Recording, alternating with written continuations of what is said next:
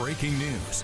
We begin with an unbelievable scene in Burlington, a front yard that looks more like a junkyard. Three cars smashed up and piled up against a house. Amazingly, no one inside the home was injured. Good evening to you. I'm David Wade. I'm Lisa Hughes. The home, though, is damaged, and witnesses say it is all because of a driver who was out of control. Liam Martin is live in Burlington right now with more on this breaking news. Liam?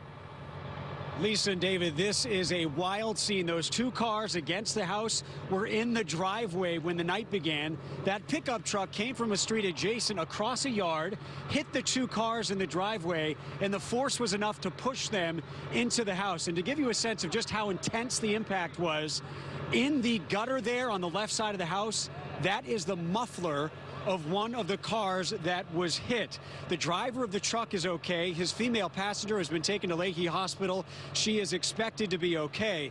The people who were inside the house, they are okay as well, including two children, but the house has been declared structurally unsound right ahead of Thanksgiving. They are out of the house tonight. A neighbor who lives across the street says he came running outside when he heard that big bang just past 8 o'clock tonight. They were in a state of shock because, um, like I said, the lady was the first one to run out of the house, and as soon as I heard, they, they one of the, I think the husband mentioned, you know, smell like gas leak. We asked them to come out of the house. They stayed here for quite a bit.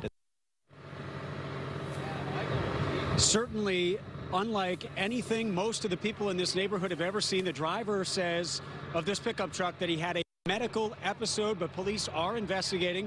He has been summoned to court for operating to endanger. But again, the people inside the house, the driver of the truck and his passenger are all expected to survive, which is pretty remarkable given the scene here on Bedford Street in Burlington.